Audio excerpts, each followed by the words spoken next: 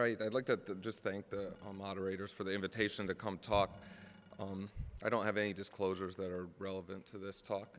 I just I want to sort of talk through, organize the talk and sort of the decision-making processes we have to go through when we see these patients. And so typically, for me, I get a call from the transfer center, right, or a patient shows up in the OR, or ER rather, with um, severe chest pain or abdominal pain, nausea, and then an imaging study, most often a CAT scan, that suggests gastric volvulus, and then you get a call about our urgent transfer or urgent consult. So the questions I think we probably need to answer is one, is this truly emergent or is this an urgent situation? Because we may manage it differently in terms of resuscitating the patient, taking some time before we go to surgery. Also, the type of volvulus you're looking at, because it may affect how you fix the problem. And then some of the technical considerations about how you're going to fix this in terms of do we do a laparoscopic or open approach, fundoplication or gastropexy, or and then mesh reinforcement at the hiatus we'll touch on at the end. So from symptom standpoint, the classic presentation for an acute gastric volvulus right is severe epigastric pain, inability to vomit, and an inability to pass an NG tube. So that's the situation where I think you need to make sure, be really concerned about acute gastric ischemia, and that really typically represents a surgical emergency. You also want to look for signs of sepsis and evidence of perforation, okay? And the, on the more common presentation is you get a very panicked phone call, but then you go to see the patient and they do have pain, they haven't been eating well, maybe they're throwing up, but if you put an NG tube down and decompress the stomach, their symptoms often go away and they do much better. That's really more of an urgent situation where you can resuscitate the patient, take some time, and then do the operation in a little in a more controlled setting, particularly if it's at night. So looking at the types of volvulus, th on the right, that's a mesenteroaxial volvulus. This is where the stomach actually rotates along the short axis. The pylorus often ends above the GE junction. Typically happens in the abdomen without a hernia, and it produces gastric outlet obstruction, and patients throw up a lot. The organoaxial volvulus is the one I think we're all more familiar with and see more often. This is along the long axis of the stomach. The stomach rotates. You can see nicely from this diagram how this creates an obstruction both at the GE junction and the pylorus, resulting in a um, closed loop of gastric obstruction. And this is where you see perforations and um, necrotic stomach, so you need to be aware of that. And when we fix these, we're going to look at, especially in gastropexy, how you do that may depend on which type of volvulus you're looking at. From preoperative evaluation standpoint, for most of my foregut procedures, I like uh, upper GIs to evaluate hernias. In this particular case, I think CT is probably better because it, um, you can see around evidence of perforation if there's fluid in the sac, a lot of edema, things like that. So it probably, in this case, gives you more information endoscopy. Sometimes we do it to assess uh, gastric perfusion preoperatively. More often I use it in the OR uh, at the time of surgery. And I typically forego manometry in these cases because the patients don't feel well. It's hard to get a good, uh, a good study. And I, I think that our decisions about fundoplication and pexy tend to do more with the, the uh, status of the stomach rather than the motility of the esophagus. So the technical, the technical steps of surgical management for this are the same as they are for an elective case, although it can be all more difficult. The edema in the stomach and the obstruction can make it difficult to reduce the hernia.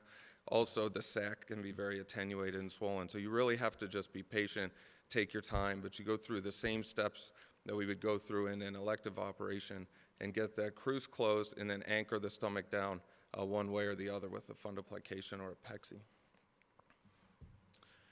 Uh, there's, in my experience, okay, I think that this can be done laparoscopically, It can be done safely. There's a, several small case series that look at this and have sort of come to that conclusion. There's been a couple more population-based studies done in the last few years that tried to look at this. This is one from the group at the University of Nebraska using the UHC database. About a quarter of their patient, the cases here were uh, urgent and emergent cases. These data come from largely academic centers, and about 70% of those cases were done laparoscopically. The laparoscopic approach was associated with lower morbidity and mortality, but this is a, univariate analysis, and so there's probably some uh, bias in terms of how the, why the patients were done open in the other group. Another study, this one's from the Medical College of Wisconsin, looking at the nationwide inpatient sample, so a more generalized sampling, shows a much lower laparoscopic utilization rate, only half of paraesophageals overall, and a quarter of the um, urgent and emergent. But here they did were able to do a multivariate analysis that shows that um, laparoscopy was independently associated with better outcomes and sort of drives that idea that we want to be thinking about minimally invasive surgery for this.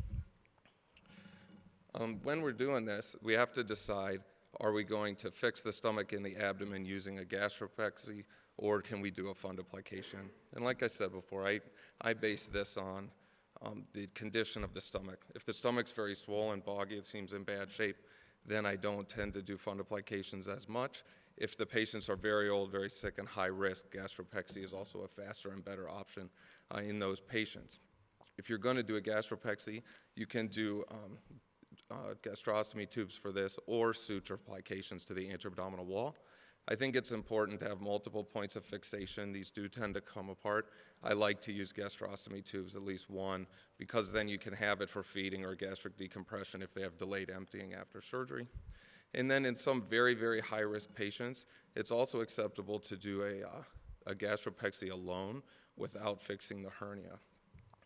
This diagram I put up for a couple reasons. One, this is from a study that uh, the University of Washington published looking at their series of a small number of patients who were very sick who had only gastropexies, not repairs.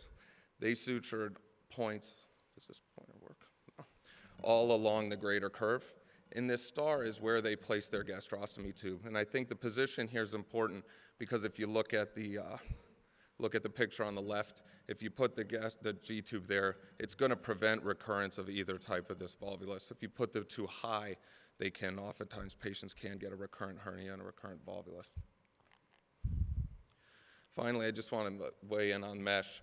This is the trial that was a multi-center trial of biologic mesh. What this taught us was that early recurrences tend to happen because of crural breakdown. And so you see, if you put the mesh there, that the early recurrence rate goes down. In the um, long term, though, the aperture dilates up, hernias come back, so it doesn't really help us so much there.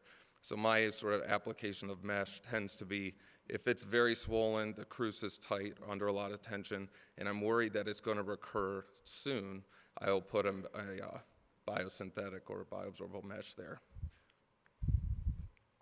So just to summarize, I think overall now we should favor laparoscopic approach to these problems unless we're forced uh, by the patient's condition or medical state to do it open.